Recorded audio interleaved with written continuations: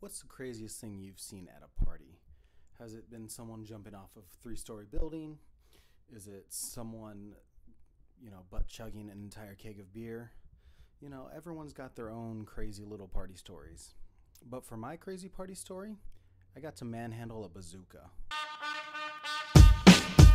So it was pre COVID time, a beautiful, a different time where everyone would hug each other, get close, and you know, sometimes we'd even share drinks and split a spliff. You know, the fun days, different times.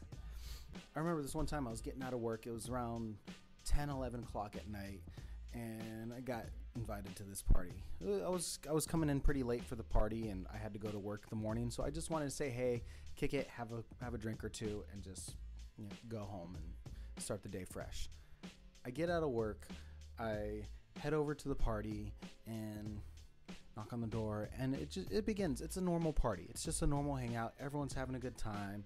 One of one of my buddies is snorting tequila off a cutting board. We're all just you know doing normal party stuff. And soon comes the time where one of these guys he looks at us and he says, "Can you keep it secret?" Because if you can, I got something to show you. Obviously, we're all gonna say, "Yeah." We're all really good at keeping secrets. All of us. Guy brings us out to the backyard. Brings us to the side of the house, and pulls up this uh, potato sack. I'm looking at it weird. I'm like, "What's in the potato sack?" I, I, for love of me, couldn't think of what it was. And he removes the potato sack in the most grand fashion ever. He flings it to the side, and lo and behold, sitting on the ground next to this house is a big old green bazooka. Now, I wasn't expecting this. I I was expecting something else. I don't know what I was expecting, but it certainly wasn't just a big old green. So this guy looks at me and one of my buddies says, "You want to hold it?" Buddy instantly, "Hell yeah." Hold, he wants to hold it. He's he's determined to hold this thing. He wants to hold this thing. The guy picks up the bazooka, helps him like put put it on them. So it's kind of like like this kind of thing, or something like that. It's something along those lines. There's like a there's like a little button or something on instead of like a, a trigger. Luckily, it was unloaded, so because he was like, you know, that would suck, you know, we just blow the whole place up. You know, holds it, and he's like, man, I feel pretty manly right now. I was like, okay, I gotta try it. I gotta hold this thing. I've never been in the military.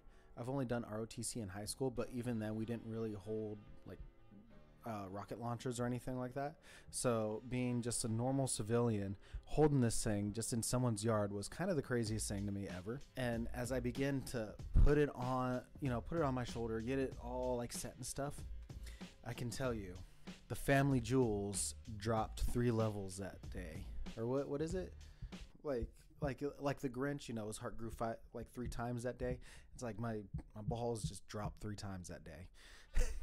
Because I've never felt so manly before in my life. That was the most powerful thing that I've ever felt. I was like, yeah, this is it. I've, got, the gun. I didn't even know how to how to describe what I was feeling. It was just like I felt tough. It was this weird feeling of like, wow, this is cool, and holy shit, this is scary. You know, what if it was loaded, kind of thing. Craziest thing ever. And so I was like, okay, you know, put it down. We're all we all go back to drinking and stuff like that. Things going normal. It's just us chilling, and as a last as a last hurrah, right before I leave, this guy comes out. There's a big old light facing like a like one of those like like very bright like construction lights. It was pointed at the wall. And so, as his last hurrah, what he does is that he grabs the bazooka and he puts it you know he does he does what every guy does you know with something long and erect he puts it on his junk and he just has it like this he's just holding it um, I, i'll probably have a photo like right here because i've got the photo of it it's a little blurry because it was nighttime but just it was like the dumbest thing ever and i knew at that point that we're all just kind of dumb Thank you so much for watching this. I was planning to have another video yesterday, but it didn't turn out the way that I wanted to, so I just kind of scrapped it.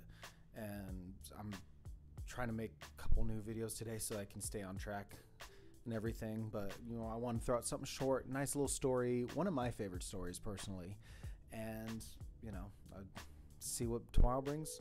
Uh, hope you're having a great day or great day, great week, great life, and I will see you in the next video.